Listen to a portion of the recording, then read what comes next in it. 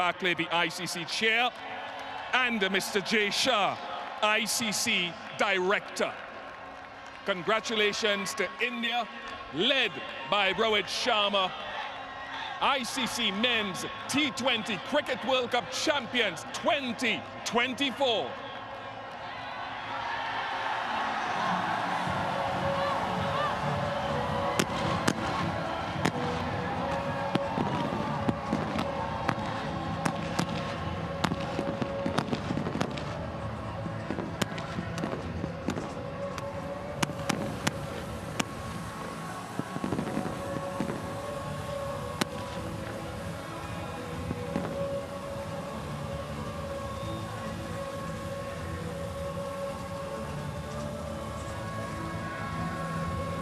Such joyous scenes for the Indian team, but as Rohit Sharma mentioned, millions upon millions sitting around the world at various hours of the day and night.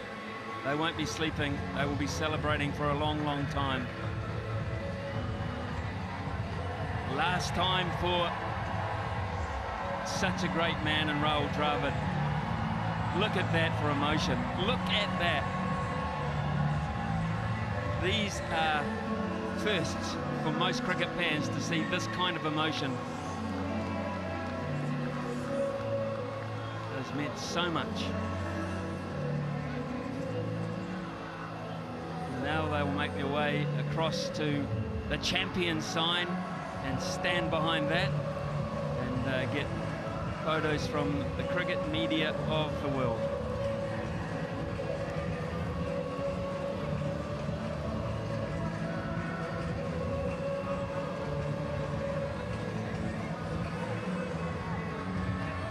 Those that have made their way all the way from India or those that have followed this team from New York where they were based early on in the piece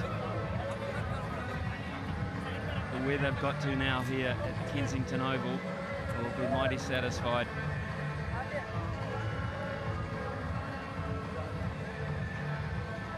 So many talented players that never really got a go in this squad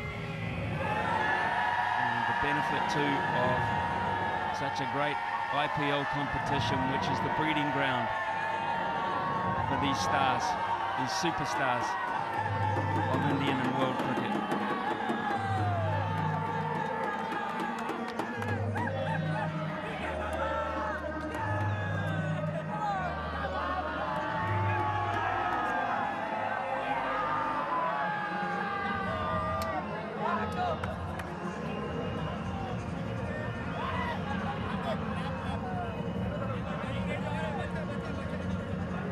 big news is that India are champions here in Barbados.